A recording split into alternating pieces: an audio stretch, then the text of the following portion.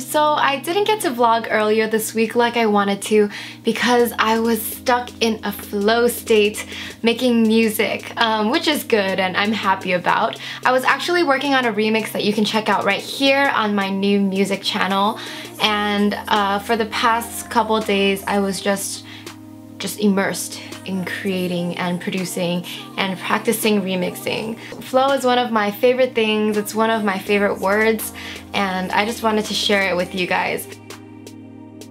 So flow is when you are completely involved and immersed in whatever you're doing and you forget about yourself. You forget about whatever's happening in the outside world and you are so focused on doing that thing and you are enjoying being so focused on it. Usually your best work is created out of flow state because that's when your brain is operating at its optimal level.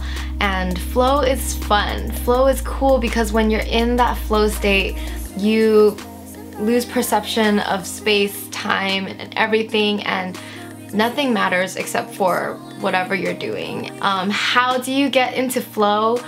Well, if you check out this chart, flow is defined as that corner area of the graph where you are doing something that you are relatively good at and something that is challenging for you on that high level of skill.